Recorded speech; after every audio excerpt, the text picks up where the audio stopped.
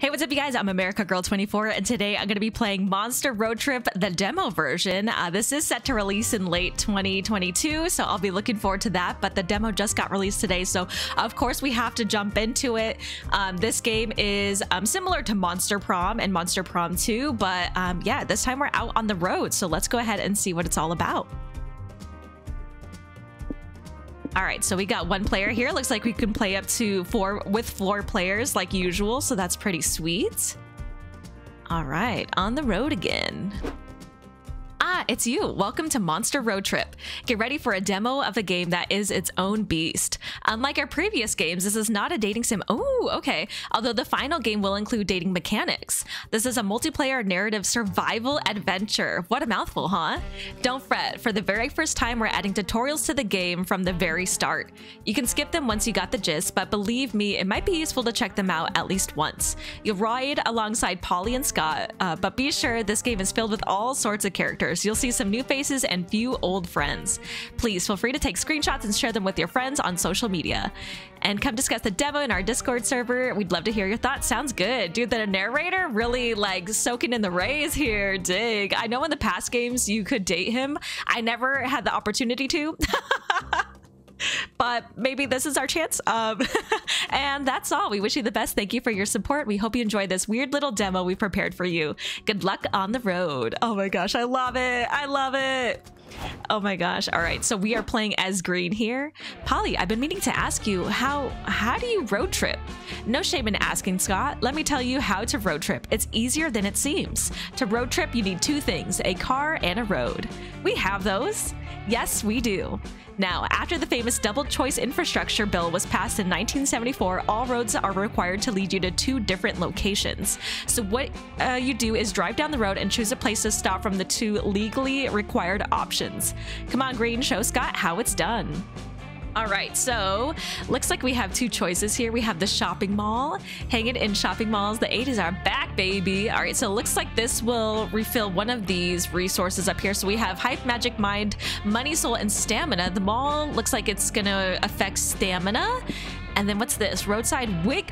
no. Roadside Wig Museum? A museum full of uh, capillary wonders? Oh my gosh. Okay, so we could either probably lose money here or what is this one? Get the hype? We have to. We literally, who would pass up a wig museum? Let's go.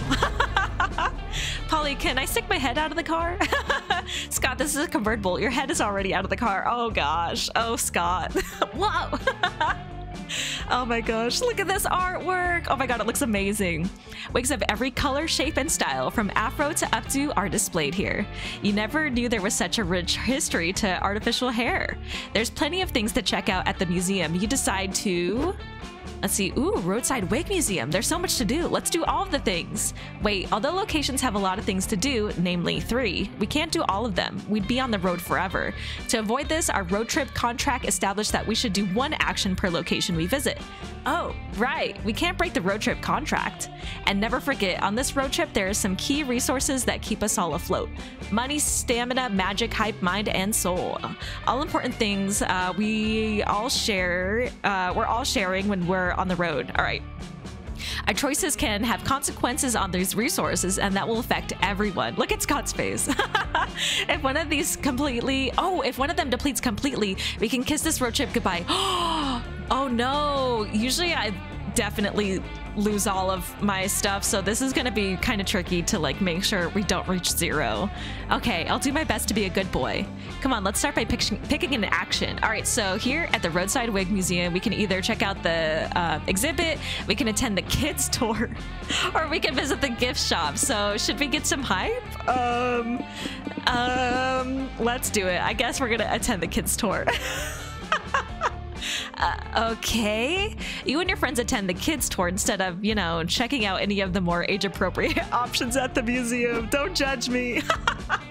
Hiya, kids, says the tour guide. Today we're learning about the wonderful world of wigs. If you answer my questions right during our tour, you'll get a gold star. Woohoo! Gold stars. I love positive reinforcement that makes me feel smart. Look at this wig. It's an Egyptian pharaoh's wig from thousands of years ago. Does anyone know why the Egyptians wore wigs? To avoid sunburns, insect bites, and male pattern baldness. Says it right there on the sign, dum dum. Man, this competition is easy. It isn't a competition, but fine. Here's your gold star. now, look at this wig, kids. It's worn by a judge in the UK. Can anyone tell me the fastest way to become a judge in the UK? Me, me, me. The fastest way to be a judge is to steal another man's powdered wig. Give me my stars. oh, Scott. The tour continues. Polly and Scott rack up stars. By the last exhibit, they're tired with another participant. Oh, oh, tied, sorry. Little Bobby. Little effing Bobby. Scott, we gotta take that whiz kid down if we want the grand prize. And that's the end of the tour, says the guide. Aren't wigs fascinating, kids? Who knows what wigs will be like in the future? Pick me, pick me. I think wigs will, uh, Give people the ability to understand poetry. Oh gosh. Shut up, you two, the guide snaps. The tour is over. It was just a rhetorical question anyway. a rhetorical what question? Rhetorical, which means this question is worth double points. Green, help us answer the question right and kick Bobby's uh, diapered butt. You don't know the answer because there is no answer, but there are other ways to eliminate Bobby from the competition. Oh, this is literally a child. Plant some drugs in Bobby's pockets and frame him for doping uh, for this competition. Oh my god. Bribe Bobby with the one thing his parents and the law have denied him all these years a taxi license? What? Um, this, these are both very bad. These are, I mean, he can't necessarily use this, right? I mean, I don't, I feel so bad about the drugs. Okay, we're gonna give him a taxi license. Hey, great idea. It's a good thing we found that website that lets you buy unregulated taxi licenses at ridiculous, ridiculously cheap price. You spend negative three money, or you spend three money and bribe Bobby with a taxi license. He asks his parents to quit the tour as his only desire now is to pursue this new career. Let's go. oh no. Oh no. This might be instant regret later on the mean streets of New York City. Ow, honey, please hurry. Call a cab. The baby is almost here. Look, here's one now, cabby. Hurry to the closest hospital. My wife is in labor. Oh god. Wowee, what's a oops obstacle? I don't know what that is. Oh god, wait, is that taxi driver a toddler? How does he even reach the pedals? I'm the best taxi driver ever. Vroom, vroom. he's not even driving. He's just making motor noises. Honey, we need to get out and find a new. There's no time. He said he's a good driver. Oh my god, she's literally going for it. Yeah, uh, he even made the vroom vroom sounds and now, oh, more contractions. The city council keeps sending Bobby letters begging him to stop driving a taxi. Little do they know, Bobby can't read. But this summer, little Bobby will learn where babies come from the hard way. What is going on? Taxi Bobby. Bobby goes vroom vroom. It comes soon to a theater near you. Pre-order your tickets now for plus two hype voucher. Yeah. oh my god. That was chaos. All right, I gotta watch my money. We're already down to three, so I gotta be careful here. So we've got the diner. Order something if you dare. Oh, Doom's Diner. Oh god, that sounds dangerous. Or Ranch. Ready to embrace your inner horse girl? That's everything. All right, well, let's go over here. There's nothing about money so far, so maybe we'll be okay. Oh my gosh. Bros, the winds on my face makes me feel alive. Oh my gosh. Dude, rude. oh yeah, Polly's dead. She's a poltergeist, so that's that's why it's rude. um, let's see. You read about this diner in a listicle. Did I say that right? of the top 10 most cursed restaurants you should never visit. Why did nobody mention this previously? Obviously, you took that as a challenge. Seriously, after all the dark magic you've messed with over the years, you'd think you can handle a diner. So now that you're here, what do you do? All right, let's see. Let's choose an action to make an event happen. I'm ready for all the randomness of these events carry. Actually, Polly, I was checking this guide and it says every potential action comes with useful signs. Oh, really? I thought it was all random. Like that was okay with me. Utter chaos suits me. No, look, the different signs signify different types of events. Let's see here. Most of them are guess events. In this, you'll always lose a resource and gain a resource. It says, uh, oh, it says it's all about finding balance. Sometimes your choice will determine which resource you'll gain, while you always lose the same resource. Or sometimes it's the opposite. You must guess what resource you'll lose and the resource you gain is fixed. Interesting. Let's see, that's not so bad. If we know we're what we're losing or gaining, the resource is unavoidable. We may uh, dodge messing up big time. but sometimes you got to guess both. And finally, uh, quantities. These events have always three choices that affect our resources. Okay, but the difference is that each choice affects the resource uh, by three different degrees, a bit, somewhat, or a whole lot. Oh my gosh, that's kind of a lot to take in. I kind of hope I remember this while making choices, but we'll try. okay, so they're gonna leave the uh, decision making up to me as always. So let's go ahead and check this out. All right, um, so we can use the jukebox, we can order something or look for a booth. Ooh, okay, so what is this gonna affect? So we've got hype, we've got stamina, or we have mind. How are we doing on all of this right now? So let's see, hype we have a ton of. Uh, let's see, uh, stamina we're okay with, and then mind is the same as stamina, so maybe I don't know if I want to order something if this place is haunted. Like, what if it's poison or something? Let's look for a booth, I guess. you and your friends enter the diner. Your heart is full of hope. And if this uh, meal goes your way, it'll soon be full of cholesterol, too. Welcome to Doom's Diner. Whoa, Gerard. Oh my gosh, they are spooky. Um, let's see. We've been in the business of misery. Oh my god. Little Paramore reference uh, since 1952. How may I help you? Our group size booth, please. Oh, one group size booth, please. Can you bring us three extra bottles of ketchup too? I like ketchup as my appetizer, and Polly keeps the rest in plastic baggies to throw at cars on the highway. Don't care. Didn't ask. It's uh, dead as a Morgan here, so you guys can sit wherever you want. Tight, you head for the closest booth. Green, are you crazy? We can't just pick any old booth like that. Picking a diner booth is massively important. You gotta think about the jukebox proximity, drafts in the building, lingering bad vibes. It's like that time coach said, if one day you find yourself in someone else's flashback, make sure to be of assistance by providing a wise and useful piece of advice. I don't know what that means, but it felt appropriate to say here. you don't know. You could do without the uh, convoluted booth tactics or the weird meta advice. You just wanted a burger. I can see that you're skeptical, Boo. So how about I for, uh, force you to do this my way until I see until you see I was right. Let's go booth hunting. Fine. If it's that important to them, you start searching uh, the diner for the ideal place to sit. Something strange starts to happen. No matter how much you walk, the surroundings keep repeating, as if the diner was the background of an old cartoon. Minutes become hours. You're still walking. Booths and neon signs become reminders of your venture uh, into an escapable 50s themed nightmare full of grease, full of grease and despair. All right, guys, we're lost. I know when I'm beat, but let's be adults here and avoid looking for someone to blame, okay? it's Polly. Polly's the one to blame, literally, yes.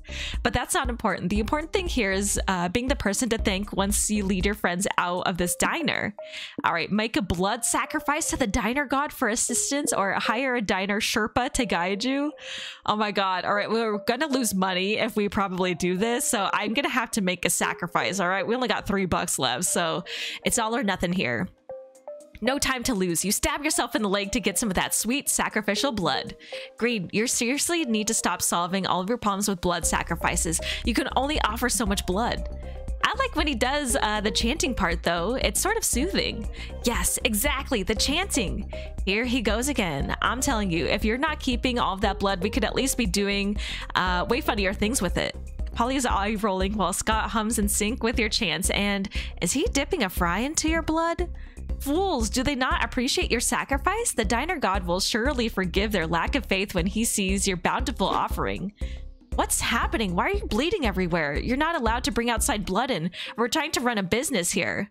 The diner god, he has come! You throw yourself at his feet, begging for assistance and finding the booth most holy.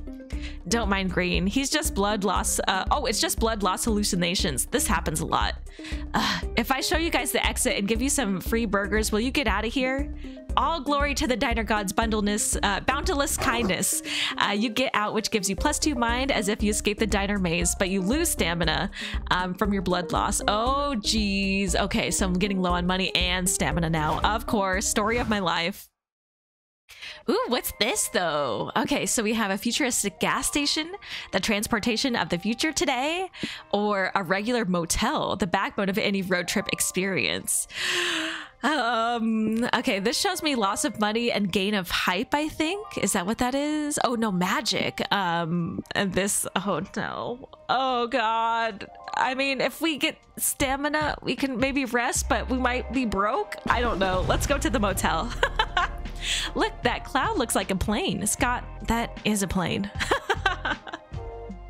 All right. After a long, exhausting day of sitting in your car, you're ready to turn in for the night. Time to choose which mundane activity you'll do before sleeping. Surely Polly and Scott will find a way to make it weird.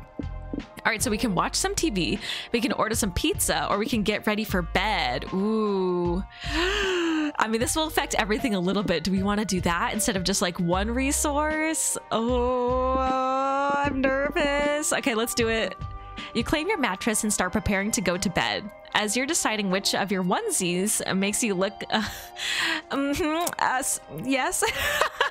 you hear Scott Polly uh, giggling in the bathroom. You go investigate. Hey there, Green. Scott and I are doing our nightly skincare routine. Care to join us? Oh, surely. But before you can rejoice about these two doing a normal activity for once, you see them step aside to reveal a fleshy, uh, undulating pile of skin. I'm so sorry, I probably said that wrong. Uh, in the sink. Ew! What is that? It's our skin, silly. I heard that skincare is really important, but Polly doesn't have skin for her own anymore. So I got her this, this little guy to care for. I named it Rodriguez. Oh my god. okay, but where did Scott even get this Eldritch Skin abomination? Boo, you ask too many questions. And questions are not part of a uh, good skincare routine. Wink. Uh, so you're gonna help us rub lotion onto Rod Rodriguez or, or not? Oh my god. Despite not having eyes, the skin is somehow staring at you, maybe even through you. Nope, nope, you did not sign up for this. Well, actually, you did sign up for this. Moisturizing Rodriguez is in your road trip contract. Uh, damn be the day you signed the contract on a dare. It looks like you're stuck rubbing lotion onto this creature. Ew. How long can you stand to do it? Five minutes, an hour, or all night? I... Five minutes. Five minutes is enough. A little... so gross. You pat some lotion onto the skin, but stop after five minutes. It feels like slime. It's warm and wiggly, and you just can't do it. Why'd you stop? Don't you see our skin needs more care? We had a deal. the skin starts uh, making uh, keying sounds like a wounded animal? Oh no um f this but you got to take care of uh it green. Rodriguez needs proper skincare. And to go to the dermatologist once a year even if the dermatologist keeps asking uh why you do this to him. Plus rodriguez might eat our toes tonight. If it doesn't get proper moisturization Now we're all gonna have to sleep with our shoes on. This sucks. Nice going. You retain plus one mind. Oh no, for the limited skin on skin uh, creature contact. Ew, but lose two hype for being a bad friend. I'm sorry, but it was too weird for me. It was too weird. All right, what do we have now? We can go to the mall, or we can looks like gain some stamina, or go to the ranch. Um, so let's go to the mall because yeah, our stamina is running a little bit low. Holly, why is there a shopping mall in the middle of the desert? Only God knows, Scott. All right, let's see. The shopping mall, it's a place where you can sort all, uh, or wait, where you can sort of shop online, but like offline. You can feel young again by reliving, uh, reviving good old ways of having fun at the mall. So we can go to the arcade, we can go to the pizza parlor, ooh, or we can shoplift. oh my gosh. Okay, well, we're gonna go to the pizza parlor because again, we need stamina here, so we need some foodies. Uh, you're looking for the food court when you see your friend Valerie sitting on the center fountain and texting. She looks up at you and smiles. Hey guys, long time no see. What brings you to the mall? Hey Val, we're on a road trip and stopped by to get some lunch. Where's the best place to eat around here? Bad question. All the food here is garbage, but I can take you to the least garbage food they serve. Welcome to Pozo's Pizza. Oh my gosh, this person is terrifying. Where every slice is sliced with love. Uh, are you sure about that? Except we're fresh out of love. So we've been slicing it with the pocket knife that the chef uses to cut cocaine. Oh god. Is Coke on the menu? Oh, Polly is in her best spot ever, if that is so. hey, Sadie. I didn't know you still worked here. How have things been? Oh, you know, it's been a lot of this. When are you gonna quit, girl? You should ditch the greasy smock and start hustling with me. I earn twice as much selling junk to my classmates as I did working at Pozo's. Thanks for the offer, but I don't mind it here. We both uh, know the night manager would be useless without me. Suit yourself. Anyways, I'll have a calzone, triple fried with extra anchovies and bell peppers under the cheese and a saucer of milk to drink. Valerie's usual coming right up. How about you guys? I want Scott's usual, whatever that is is the Coke on the menu. Polly. if Polly's buying Coke, you definitely won't have enough money to get food for yourself. Oh no! Don't worry, I know all about that minimum wage life. We're running two price discounts today. Want to use one of them? Oh my gosh, buy one pizza, pay for two? That's not a deal. Get a free pizza if you attend the opening show of the manager's conceptual theater piece. We have to. Oh my gosh, this face. Oh my goodness. Okay, we have to. We have no choice. We have like no money. Wow, really? Dang, guess you'd do anything for free pizza. I'll let my manager know. Well, you chose this. You're led into an alley behind the mall where several pizza boxes have been stacked up, creating a makeshift stage. Behold, I am the face of greed. I demand money because I don't get paid enough for this. Oh no. The Pozo's manager comes out next. Behold, he screeches, I am the face of wrath. Tremble before my bloody visage. I don't know if I said that word right. Dude, all you did was smear pizza sauce all over your face. It's even too watery to look like blood. Behold, the manager screams, holding a hand mirror up to Valerie. Here stands the face of consumerism. Get that mirror out of my face. I'm not declawed, and I will prove it. the next three and a half hours are filled with the manager screaming at the mannequin covered in melted mozzarella about the lie of the uh, Metro I don't I don't know how to say this word. I'm so sorry. It's mind-numbingly boring. There are a few other patrons here, also bored to tears. Uh, you here for the free pizza? You whispered to an old man. I think he was at one point, but now he's asleep with a slice of pizza hanging out of his mouth. Or he's dead. I don't know. If he's dead, do you think he'll miss the pizza slice? You gain plus two stamina from the free pizza you were promised, uh, but was it worth it? the minus three hype loss? Oh, what am I at now? I'm at three. Oh god, who knows? Oh my gosh. This is so stressful. Okay, we're getting some rest, it looks like. Ooh, cool. Oh my gosh. Ugh, finally a place to rest. Even this uh, spherical booty needs to uh, do some sitting after so much shaking. The guide says that are several pit stops like this one. We should be able to reach one like once a week after visiting four locations. That sounds good. I wonder how long this trip is as a whole. Um, because yeah, this is the first pit stop, I think. That sounds good. Let's go chill between those benches, Scott. Gotcha. As your friends leave, you realize you don't want to rest because you're utterly addicted to making some choices all the time. And this pit stop is no different. You quickly um, assess the many, well, five things you can check out around here. In the final game, each player will fight to get into the preferred pit stop. Mm, okay, that makes sense. At this point in development, we haven't implemented their mechanics yet, but you can still click on all five spots to learn more about them. Go see what they do. Okay, how cool Cool. Oh my gosh, that sounds awesome. So let's go ahead and see what these pit stops are all about. Okay, so over here, it looks like, can we click into these? We have a few different stops. So we got like the bus stop, we have like an info board, picnic tables, and then this car. So, oh, and uh, a place to buy things. Again, my money's really low now, so let's not. let's not do that part. Um, what? I don't want to do anything that's going to cost me more money. I mean, I need some hype in my life as well. We need to earn money. Maybe we, at the info stand, they'll have like a way we can do that. let's just see what this is. Uh, this is the trip info board. Here you can find info on how to get to the destinations. Reaching a destination is the main oh goal of this road trip. Basically, choosing a destination affects a requirement uh, for the group to fulfill. The main requirement will be getting a specific resource. Oh, to a certain amount. There are six basic destinations, each tied to a different resource, and each has a big, unique ending portrayed. Ooh, with unique art. Oh, cool.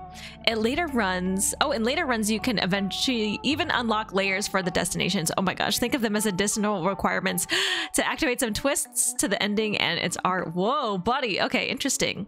This game always has an extra layer for you to get a bit deeper if that's what you want. Oh, very cool. Okay, so we can just literally just learn about these for now.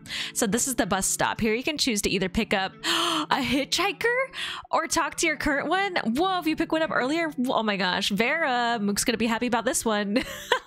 if you look for a hitchhiker, you'll find two options. You can pick only one. Keep in mind, every hitchhiker comes with an effect. Um, oh, effect on your resources. You can also talk to your current hitchhikers. By doing this, uh, you'll have conversation events with them and eventually a deep conversation. Whoa! We'll explain this new mechanic uh, in the benches since this also applies to Polly and Scott there. This basically has three functions. It affects your resources to bring you closer to scoring a date and it provides backstory and intimate moments with the hitchhiker. Keep talking to the hitchhiker if you want to unlock their date ending. Oh, cool. So that's how we do that. There'll be dozens or so hitchhikers. Each of them are waiting for you and ready to share more about them if you're willing to listen. Okay, cool. Um, let's see. What is this one? So why would you pick the car? Monster Road Trip will include a tricky new mechanic. For now, let's call them dare points. You will have dares you must fulfill to get those juicy points. Think of them as missions you complete to earn individual points. Even though this game is co-op, these points will decide, oh, who gets a lame ending and who gets to be MVP and gets some unique um, kick-ass art. Oh, I see, I see. That does look sweet. How much will you be willing to portray, oh, betray your group's uh, collective interest in order to score some dare points for yourself. Oh my gosh, the drama. If you're too selfish, you may um, F up the group goal. Uh-oh. And if the group loses, everyone loses. Ooh, this is going to be challenging. Oh my gosh. Look at, look at the, poor Scott here. Oh my God, he's deceased. um, let's see. But uh, focus too much on the group and too little on yourself, and you may end up in dead last and getting the lame ending. Ah, let's see. And so you can visit the car to collect some juicy dare points. Okay, that makes sense. All right, so over here at the benches, what happens? Uh, the benches are where you can go and chill and talk to either Polly or Scott. Okay, talking to the one of them will provide a unique special effect for the next turns. You'll get a conversation event.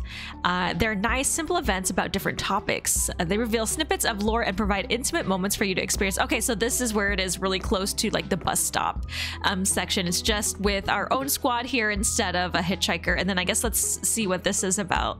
Welcome to the bartending stand. Ooh, this is still very early development stage. Oh, so it might change later, but the idea is that here you can barter with little trinkets in order to manage your resources a bit. Oh my gosh, cool. This could save one of your resources from zeroing on a bad day. I would need that right now. this artwork. Also, Noodles is here, but I don't know if that's a good thing. that was adorable.